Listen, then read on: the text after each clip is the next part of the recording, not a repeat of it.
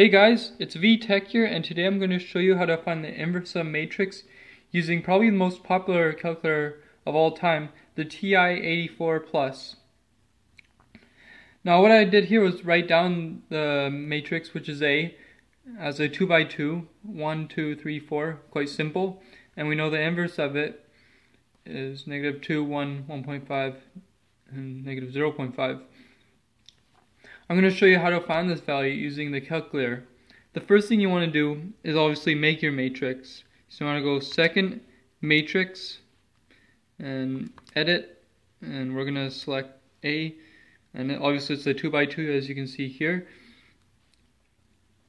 So I'll go 2 by 2 and 1, 2, 3, 4. Okay, so now we have our matrix made. So you want to go second quit now what we want to do is go back and go second matrix, select the matrix we made, which is A, obviously, the 2 by 2 one. And now you want to press the x to the negative 1 just above. I'm going to focus it there.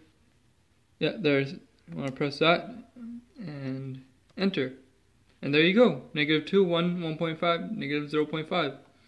That's uh, inverse of the 2 by 2 matrix we made.